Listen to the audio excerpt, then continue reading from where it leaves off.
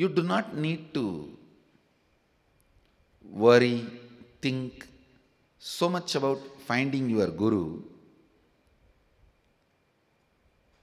It is like, if I have to put it in a language which you all understand, love at first sight.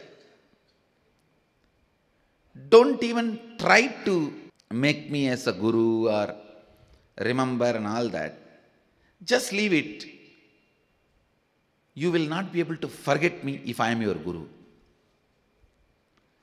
You will not be able to forget me if I am your guru. It is like a click happens. Something will click in you. You just will not be able to forget. I am there all the time inside. Whether you are cooking or you are in, the, in your office meeting, whatever you are doing, I am there all the time as undercurrent in you. Then I am your guru. If that does not happen, don't worry, continue your search. You will find my blessings. So, you don't have to worry, think too much about how do I find my guru. You go on, become more and more authentic.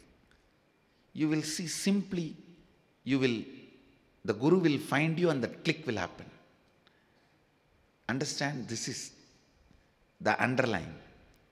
The moment you wake up, whether you are brushing the teeth or taking bath or cooking, going to office, attending your routine or reading books or watching TV or watching movie, whatever you may do, I'll be there as an undercurrent sitting inside you. You don't have to think, plan, nothing.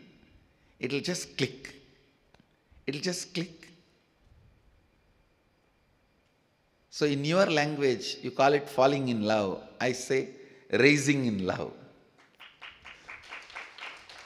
It'll just happen.